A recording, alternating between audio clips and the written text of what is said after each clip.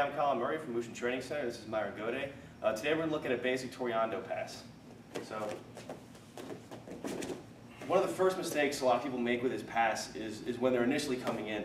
One, they'll stand with their feet square like this, and they'll just bend over right here, right? So a couple big problems with that. Problem number one is if you're doing this for MMA, whenever you're bent over like that, up kicks are gonna come and wreck you, right? Uh, even if you're not doing it for MMA, um, if you're doing it just for grappling, when I'm down like this, my posture's broken. So if we're doing gi, he's gonna grab my lapel and pull me down. But even not doing gi, he can sit up, take my head, you know, and start, he can start messing with me, with me there, you know? Uh, third problem with being in that position is that my hips are really far away from my arm. Whenever I'm trying to pass someone's guard, it's not about my chest getting past, it's about my, my hips getting past. Right? When I start this far away, if I try and get around Myron like this, he, he, he, just, he just follows me. Right? Even if I happen to be strong enough and fast enough where I can keep him in place and get my hips all the way to the side here, like his knees are going to come in. He's going to beat me in that race every single time.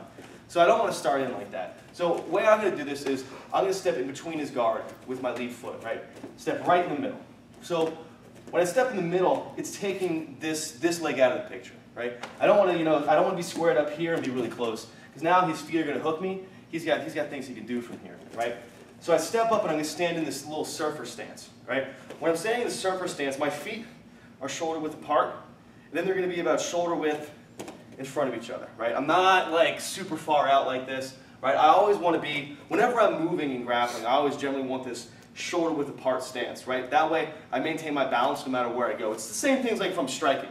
If I'm striking, my feet are always as far apart. Whenever I'm pivoting, whenever I'm shuffling, if one foot moves, the other foot's going to follow that exact same distance. It's the same concept grappling. That way I always have my balance. So I got this foot forward, my feet are shoulder width apart, shoulder width apart, going forward and backward too.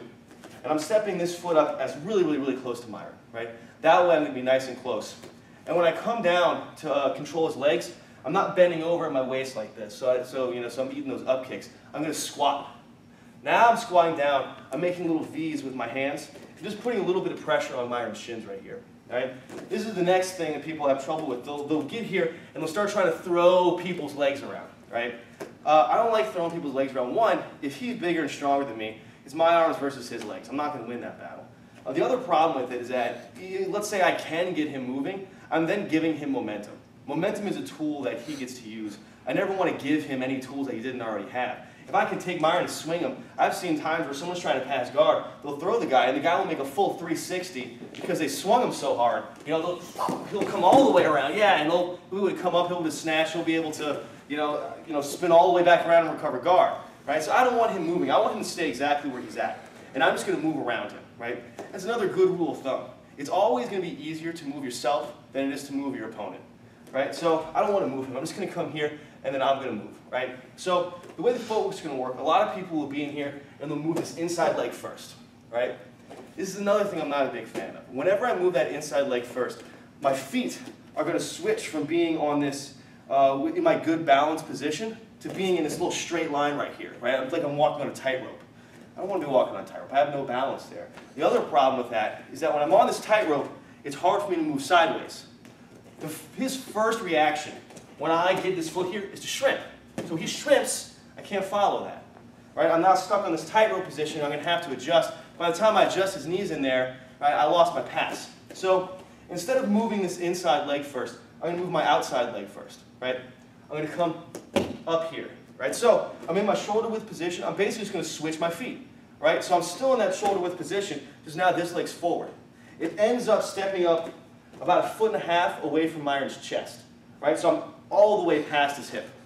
So I'm stepping in, controlling here. This steps up here. Now this leg will move. It comes in and I'm gluing my shin to Myron's hip right here. Now Myron can shrimp. And if he shrimps, I'm in a position where I can push off this back foot and move forward. Whereas when I was here, if he shrimps, I can't move back that direction very easily. Right? I've kept my balance with every single move I made and I can you know, move in any direction very, very easily.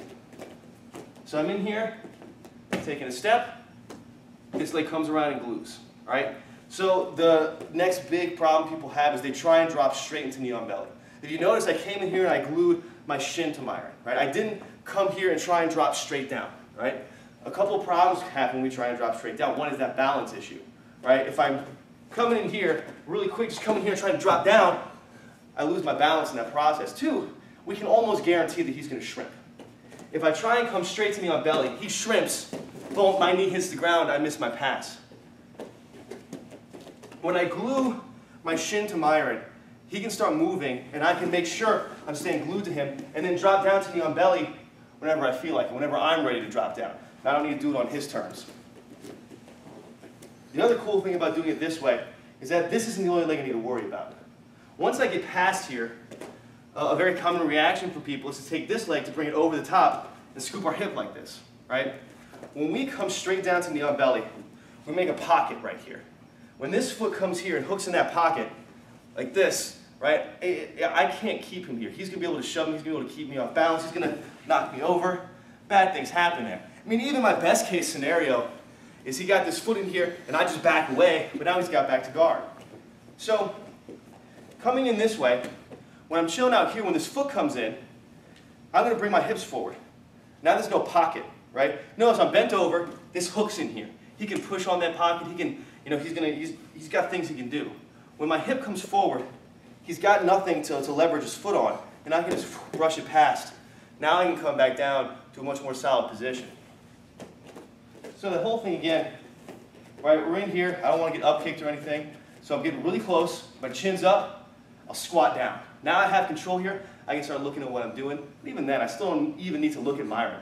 My posture, my head being up, is just you know generally a better place for me to be. So I'm down here, my posture's up, my feet are in that shoulder width position we were talking about. This foot steps up, maintain that shoulder width position. This foot comes around, still maintain that shoulder width position, right? Now I'll start dropping that knee on belly. This foot starts coming in, hips forward, get that foot out the way, then I'll come down, maintain my control. I'm Colin from Mushin MMA. Thanks a lot for watching.